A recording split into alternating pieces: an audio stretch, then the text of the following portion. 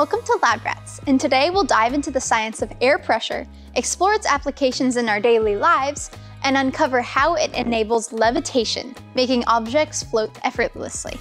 Air pressure is all around us, and believe it or not, it plays a vital role in our daily lives. Not only does air hockey utilize the power of flowing air, but technologies such as airplanes and sports cars also work by controlling air pressure.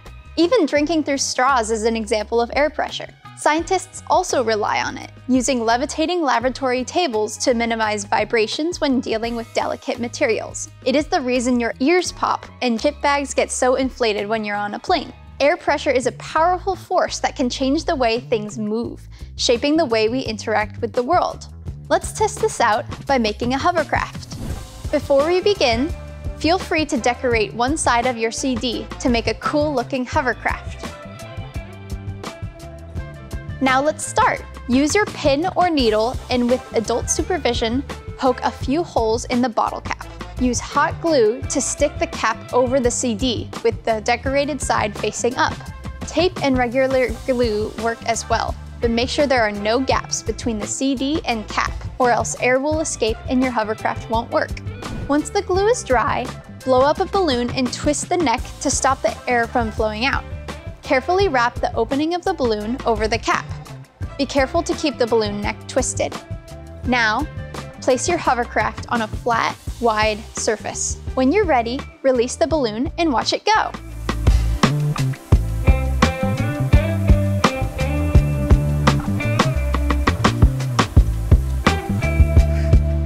So how did the CD just hover like that? Well, if you were to let a normal balloon full of air go, the balloon pushes on the air molecules inside and forces them out through the opening so quickly and powerfully that the balloon is pushed back and it flies all over the place. This is air pressure, air molecules moving and creating a force. Once we attach the bottle cap though, that force is limited. The holes we poked in the top are smaller than the opening of the balloon, so less air gets through. The combination of this and the weight of the CD keeps the balloon on the table while still making it levitate. The same principle applies to air hockey. The air pumps below the hockey table generate a cushion of air that is evenly distributed along the surface of the table. This lifts up the puck and allows it to move faster by gliding on air rather than scraping along the table.